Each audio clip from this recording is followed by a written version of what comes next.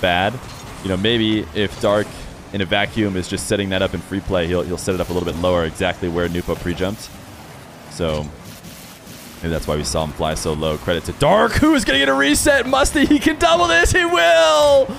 Dark is absolutely popping off right now. Nwpo tries to pre-jump again, but it's not going to work. Dark keeps it ceiling height all the way to the back wall and into the net.